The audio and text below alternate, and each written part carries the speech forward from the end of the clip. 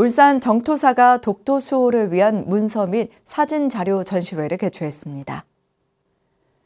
정토사는 어제 경내 설법전에서 주지 덕진 스님과 김문길 한일문화연구소장, 서동욱 울산 남구청장 등이 참석한 가운데 독도는 한국당 문서 및 사진 전시회를 열고 내년 2월 22일 진행되는 일본 시마네 견해 다케시마의 날 행사를 강력 규탄했습니다. 덕진 스님은 2005년 시마네 견이 다케시마나를 제정하고 최근 일본 우익 정치인들이 독도는 일본 땅이라는 망언을 일삼고 있어 독도가 한국 고유의 영토라는 것을 다시 한번 확인하고 널리 알리기 위해 전시회를 개최하게 됐다고 강조했습니다.